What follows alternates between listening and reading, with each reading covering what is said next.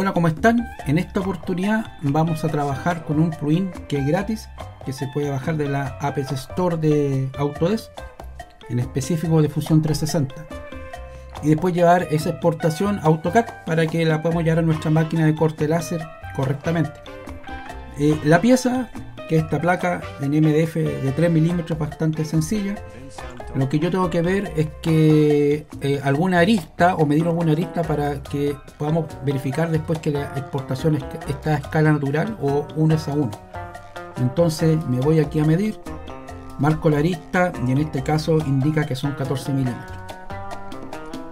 El software eh, o el plugin gratis está en la, en la pestaña crear, se llama SaveDKF y cómo lo, lo vamos a obtener se van utilidades complemento Aper Store de Fusion 360 ¿no es cierto? aquí colocan DXF láser.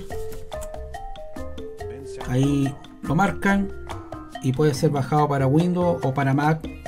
Lo que ustedes lo bajan cierran el archivo de fusión y cierran sesión. Después reinician y ahí estaría instalado el programa. Entonces teniendo eso no es cierto me voy a sólido crear marco el programa. Acá por default aparecen los tres tickets. Yo saco el primero que es un preview no es necesario. Marco la cara y aquí aparece el, láser curve que el corte el láser sea menos de un milímetro y eso lo pueden dejar igual. Si fuese un ensamble tendrían que hacerlo eh, por cada pieza del ensamble. Obviamente no las repetidas porque eso se puede copiar en AutoCAD entonces le damos a aceptar.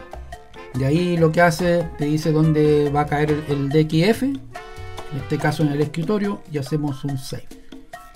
Ya con eso está listo. Esto ustedes lo pueden bajar no es cierto esto lo vamos a cerrar. Vamos a abrir AutoCAD. Ahí está el archivo. Vamos a abrir AutoCAD no es cierto open. Y vamos a abrir la pieza. Simplemente en, en este caso yo la puedo arrastrar entonces la idea es que todos los cuerpos hechos en fusión eh, se tomen y se arrastren o lo, abrimos como se hace um, tradicionalmente abrir un, programa, no sé, una pieza. Ahora, esta pieza yo la voy a explosionar. Ahí está explosionada. O sea, todas las piezas son independientes, todas las aristas y vértices son independientes.